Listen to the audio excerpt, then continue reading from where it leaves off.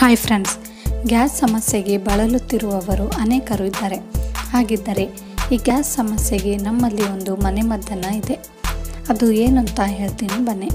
ಬದಲಾಗುತ್ತಿರುವ ಜಗತ್ತಿನಲ್ಲಿ ಸಣ್ಣ ವಯಸ್ಸಿನಲ್ಲಿಯೇ ಗ್ಯಾಸ್ ಸಮಸ್ಯೆಗಳು ಎಲ್ಲ ಕಡೆ ಕಾಣಿಸಿಕೊಳ್ತಾ ಇದೆ.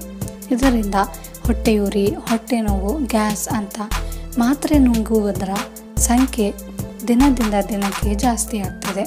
ಆದರೆ ಮನೆಮದ್ದು ಸೇವನೆ ಮಾಡಿ ನೋಡಿ. ಬಹುಬೇಗ ನಿಮಗೆ ನಿವಾರಣೆ ಸಿಗುತ್ತೆ.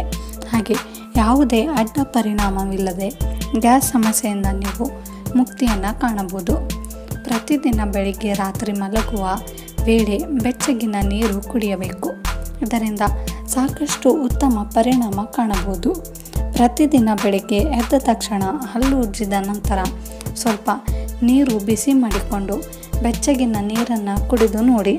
ನಿಮಗೆ ಗ್ಯಾಸ್ ಸಮಸ್ಯೆ ಜೊತೆಗೆ ಅನೇಕ ಅನೇಕ ಸಮಸ್ಯೆಗಳು ನಿವಾರಣೆ ಆಗುತ್ತವೆ ಹಾಗೂ ಗ್ಯಾಸ್ ಸಮಸ್ಯೆ ಇದ್ದವರು ತುಳಸಿ ಎಲೆಯನ್ನು ಸೇವನೆ ಮಾಡೋದು ಉತ್ತಮ.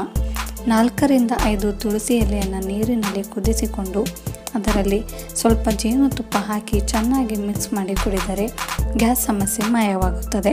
ಫ್ರೆಂಡ್ಸ್ ಈ ವಿಡಿಯೋ ತಮಗೆ ಇಷ್ಟವಾದರೆ ಲೈಕ್ ಮಾಡಿ ಶೇರ್ ಮಾಡಿ ಕಮೆಂಟ್ ಮಾಡಿ ಹಾಗೂ ಸಬ್ಸ್ಕ್ರೈಬ್ ಆಗೋದನ್ನು ಮರಿಬೇಡಿ. Thank you for watching